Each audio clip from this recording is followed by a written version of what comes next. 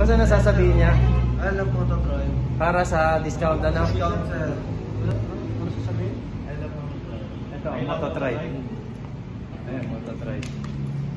Saan mo sasabihin siya? Vlog natin to. Vlog natin. Shoutout pala, Mototribe, nagbigay ng discount 5%. 5% punta lang kayo dito. Sinong Gabel. Kung nakanood kayo ng vlog ni Nurse, Nag Nurse Nagalag dito, meron Ah. kayong 5% discount. Ayos. Pa-subscribe din, Marvin Chua Photography, or Marvin Chua Motovlog. I like Okay. moto drive. Okay? Bibidyo niya rin ba siya? Okay na? Ayos.